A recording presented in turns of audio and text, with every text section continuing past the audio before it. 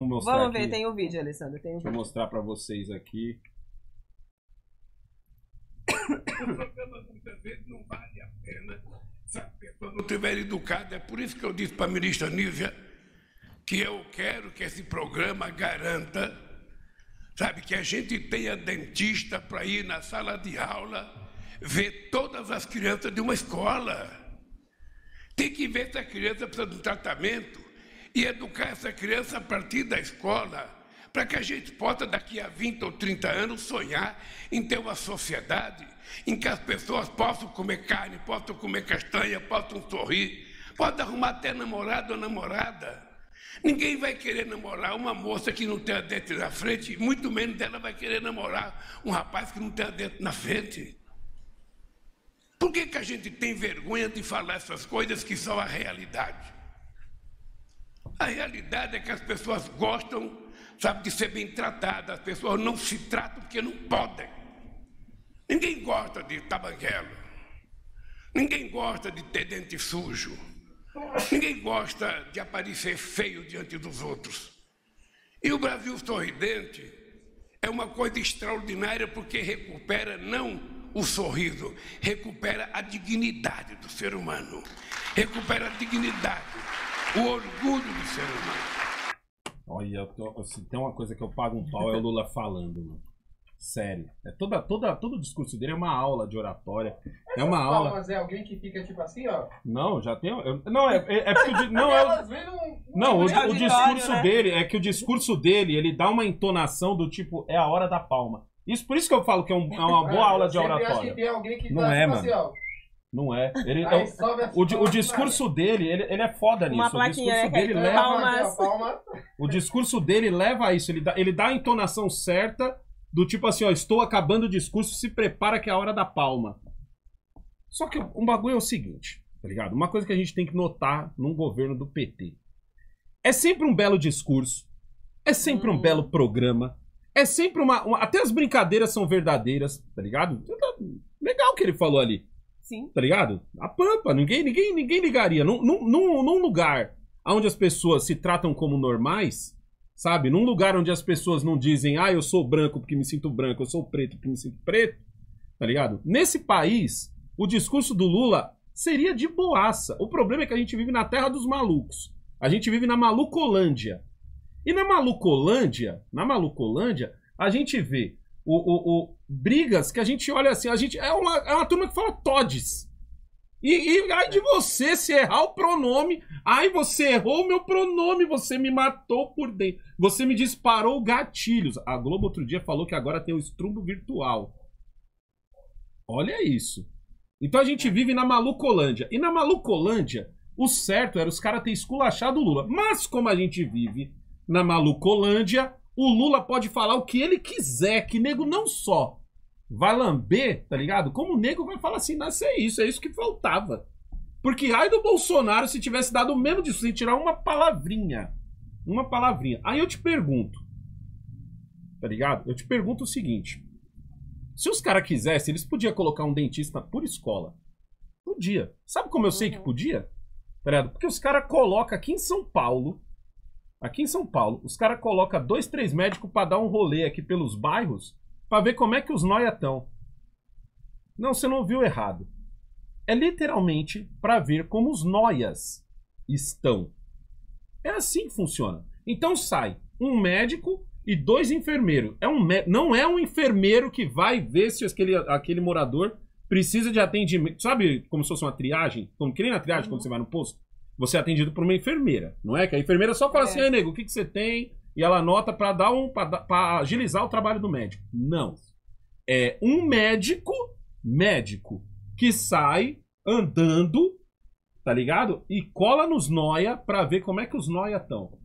E é mó boi trombar isso daí.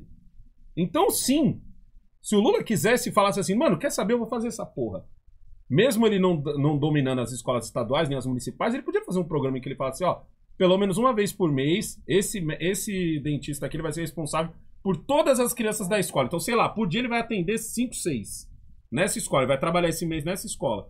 Aí ele atende, vê como é que tá. E tá- lógico que ele não ia fazer muita coisa, o máximo que ele ia poder fazer é dizer, ó, seu filho, você não, No, no- Normalmente eles fazem uma triagem em caminho É. pro posto de saúde. Seu filho precisa ir num dentista mesmo, viu? Não dá só, só na escovação, não vai dar certo aqui não. Tá podre o bagulho.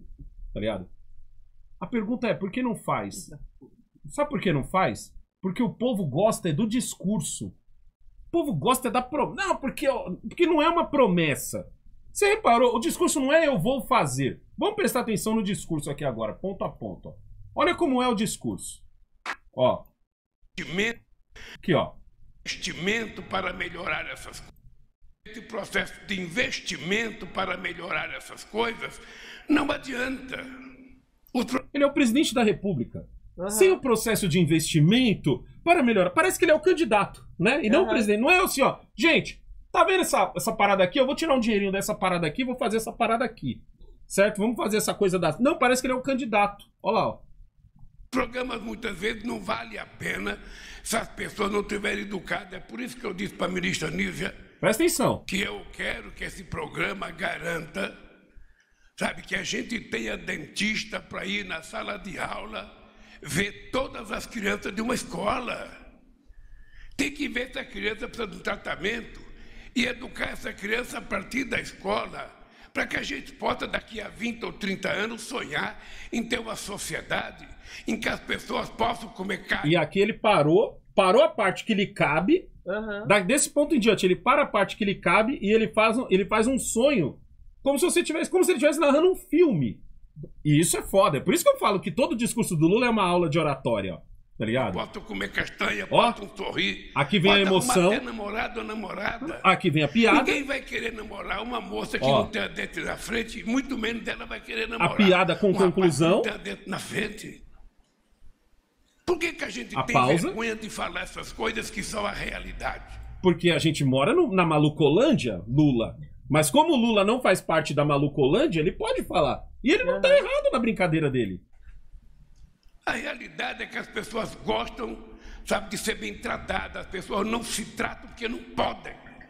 E ele é o presidente da república, ele fala como se ele fosse, tipo assim, um professor, tá ligado? Um- alguém que tá dizendo assim, gente, o certo da gente fazer seria esse, esse, esse. Ele não fala como assim, peraí, mas eu. Mas, aí eu- faltou alguém levantar a mão e falar: Oi, Lula, mas você tem o poder, irmão, pra fazer essa Tá fita aí. né? Como é que você vai fazer? Não, porque a gente precisa. O discurso é foda, ó. Ninguém gosta de tabanguelo.